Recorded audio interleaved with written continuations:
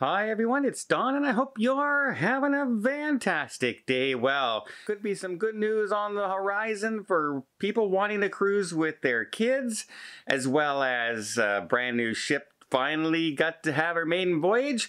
Another new ship is having her maiden voyage very shortly. Just all kinds of news.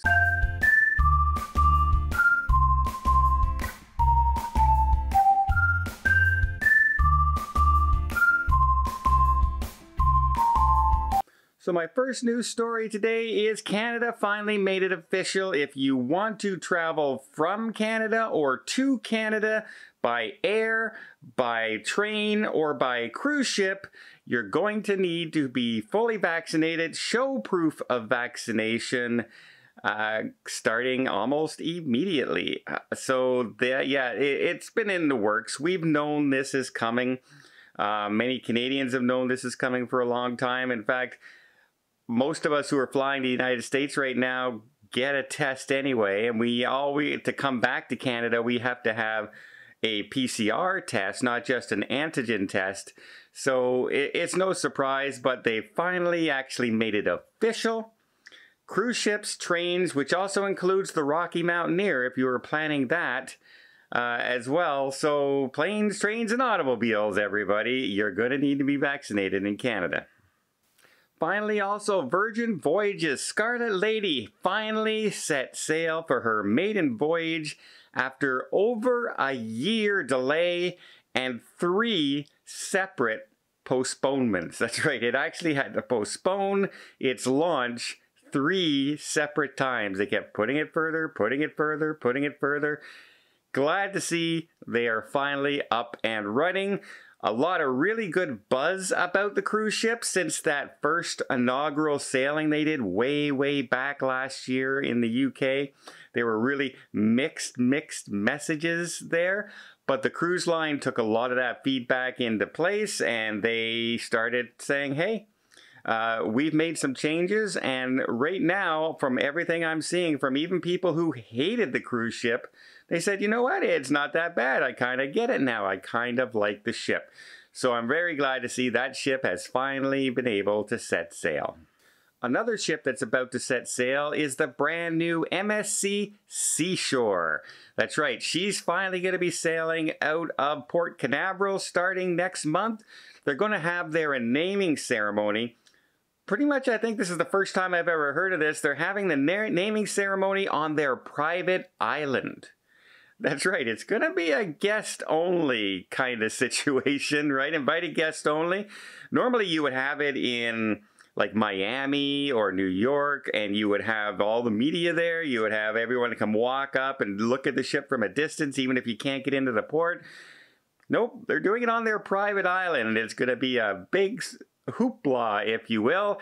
Immediately following that naming ceremony, the ship will move over to Port Canaveral and start sailing with paying passengers.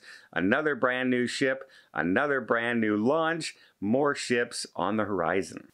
Speaking of ships on the move, everyone saw that I was on the Majestic Princess in Alaska. I really like the ship. I love the noodle bar. I love some of the dining venues. I like the entertainment staff and I like the look of the ship. It was beautiful. And now she's moved to Los Angeles. So a much warmer climate now. If that's what's holding you back from sailing on the Majestic Princess, you have a much warmer climate climate to enjoy those top decks that I had when I was in Alaska. We had a bit of rain, just a bit of rain for 14 straight days. but you know, that's what you get when you when you travel to one of the rainiest parts of the world and uh, yeah. But I still had a great time on my cruise, and the Majestic Princess is now situated in Los Angeles. And if you want to take some warmer climate cruises, you have a beautiful ship to do so. Before I get to the next two news stories, let me just invite you to hit that subscribe button if you haven't done so already. Really does help the channel. It just notifies YouTube that's saying, hey, people are watching this video, let's share it to more people. That's how it helps the channel. You're not being inundated with ads or anything extra, I would really, really appreciate it. And now a bit of bad news is Carnival Cruise Line. Well, you might be able to choose the fun to sail on Carnival Cruise Line. That doesn't necessarily mean the fun is going to sail. That's right, Carnival Cruise Line announced more cancellations coming up in the few next few months. And some of these are now into 2022. We were really hoping that by now we would stop saying cancellations of cruises, uh, other than maybe changing itineraries around a little bit, but now actual sailings being canceled once again on a few ships with Carnival, and they all seem to be kind of one class, and a lot of people were asking, hey, this was the class that got sold off and sold into the scrap yards, and you saw that in Turkey and India, and I, I, I don't think they're going that route. These ships still have a place in Carnival, uh, however, if anything slows down the cruise industry, that doesn't mean this won't happen again, right? If we have a big spike or something going this winter and they stop, you know, they have to limit how many cruise ships they bring on board, that could be a bad, bad sign for those class cruise ships. But right now, they're still scheduled to sail. They're just taking a little longer to do so. And of course, these are their smaller ships. So they want to get their larger ships with larger capacity limits to make more money in one place as they bring their ships on. You don't want to start off with your smallest fleet with all the expenses of running cruise ships and your crew, and especially the big ships tend to be, you know, those are their main ships, the Mardi Gras, the Panorama. Those are the ships that draw the attention, and a lot of people want to get on. So those are the ships they're going to bring on first. And the other ones will come along in due time. And finally, for those of you wishing to travel with children and uh, you can't because obviously children under the age of 12 can't get vaccinated, well, Pfizer has now turned in their findings and have asked for approval of their vaccine for children 5 years to 11 years old. They've turned it into the FDA. The FDA will look it over, and eventually the CDC will have the final say on the approval of the vaccine for children. Good news is it's been finally put in, right? We, have seen it put in. There's some good news there. Even better news is it could be available as early as the end of this month. That's right. So anyone who wants to travel with children and this is good news for not only children and families, but basically everyone. Not so much that you're going to catch COVID from a child. That's not what I'm saying. What I'm saying is less chances of any spreading because that's more people on the cruise ships vaccinated. And also, if you can't, you know, if you're having, look at that family who had to get a PCR test because their child was unvaccinated, and they only got antigen tests because they got antigen tests for the whole family and thought that was good enough and they got denied boarding. That's going to eliminate a lot of this confusion.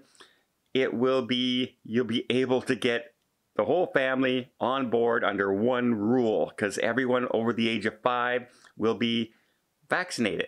And children under two don't have to get tested so I'm wondering if that down the road will now change. Once you can vaccinate five year olds and older, will they change that rule to anybody under the age of five doesn't need to be tested? That's a very big possibility, which would make so much clearer the guidelines for getting on cruise ships right now. And hopefully, hopefully within the next year, all of these guidelines have completely disappeared. I can't wait to get back to some kind of normalcy where I'm not listening to the news to find out whether or not I'm supposed to be allowed to have people over for Thanksgiving. Yeah, that's still a thing here in Canada. well, I hope you appreciate this video. If you did, please give it a thumbs up. Want to see more tips, more tricks, more travel blogs from around the world?